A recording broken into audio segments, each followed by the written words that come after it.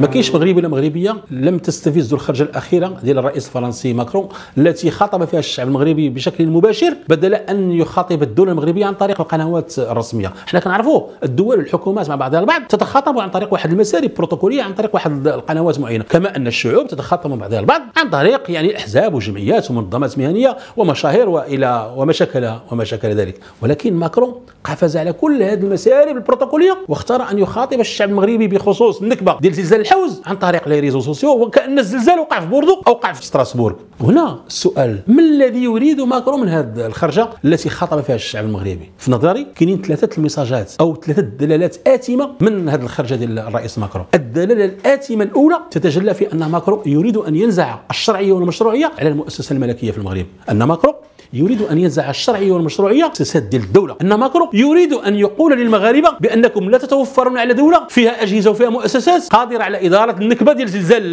ديال زلزال الحوز. وبأن فرنسا هي الدولة الحامية والدولة الراعية والدولة القادرة على اسعاف اسعافكم هنا ماكرون نسى بأن الأمم المتحدة لما تقع نكبة فيضان زلزال بؤرة التوتر في العالم تستنجد بماذا؟ تستنجد بالقوات المسلحة الملكية. أي أن الجيش المغربي عنده بصمة مشرقة في جميع بؤر التوتر والفيضانات والنكبات على المستوى العالمي.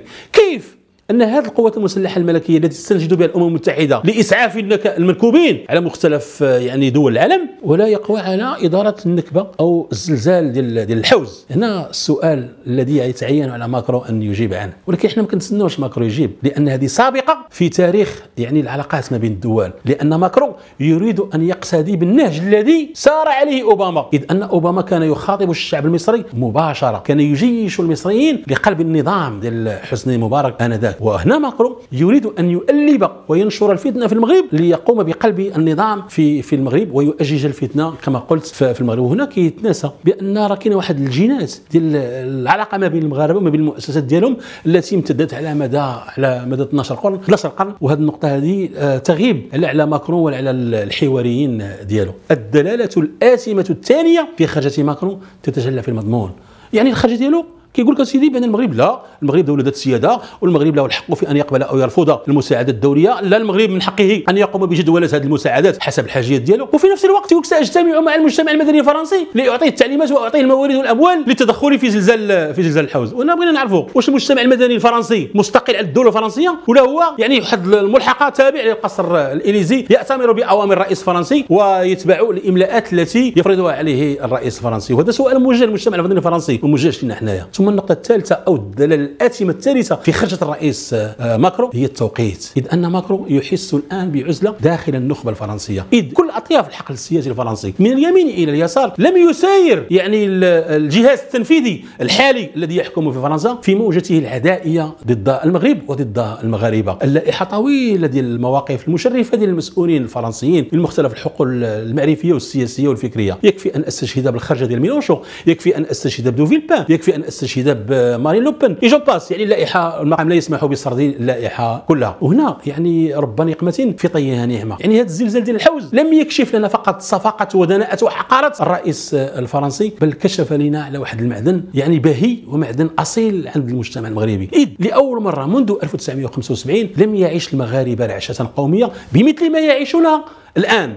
يعني هنا المغاربة عاشوا جوج العشات قومية. في المسيرة الخضراء في 75 وفي هذا الزلزال ديال ديال الحوز الذي أظهر واحد المعدن كما قلت أصيل ديال التضامن من طنجة إلى إلى القويره وهنا المغاربة يعني في التاريخ ديالهم راه عاشوا زلازل ماشي هذا الزلزال الأول. عشنا زلزال أكادير الذي قتل 12000 مغربي. واستطعنا ليس فقط تضميد جراح ديال زلزال أكادير بل تمكنا من إعادة إعمار أكادير التي أضحت الآن إحدى جواهر الساحل الأطلسي وإحدى مفخرات الواجهة الأطلسية المغربية. ثم عشنا جزء الزلازل في الحسيمة 1994 و2004 واستطعنا كمغاربه بتلاحم يعني المؤسسات ديال الدولة المغربية مع الشعب المغربي في أن نعيد إيواء وتعويض جميع المتضررين في هذا الزلزال. واليوم أيضا في زلزال الحوز. سنستطيع إن شاء الله وسنتمكن بفضل هذا التضامن اللي كاين وبفضل هذه الهبة التي سارت في الجسد المغربي أن نعيد ليس فقط يعني جبر ضرر الحوز والمناطق المتضررة من الزلزال بل سنعيد وسنفلح في إعادة إعمار يعني كل المناطق التي تضررت في زلزال الحوز. وهنا هنا يعني آه، الفرصة باش ناخذوا هذا الزلزال ديال الحوز كمقبرة لردم يعني فرنسا المكرونية ردمه نهائيه وحتى يكون الحوز يعني تكملة للخطاب الملكي الأخير ديال 20 غشت 2022 اللي قال فيه الملك بأن الصحراء راه هي النظاره اللي غندو نشوفوا فيها العلاقات الدولية ديالنا. وهذا الخطاب كنصحوا الرئيس ماكرون باش يعاود يتصنت ليه ويترجموه ليه بلغة فرنسية سليمة.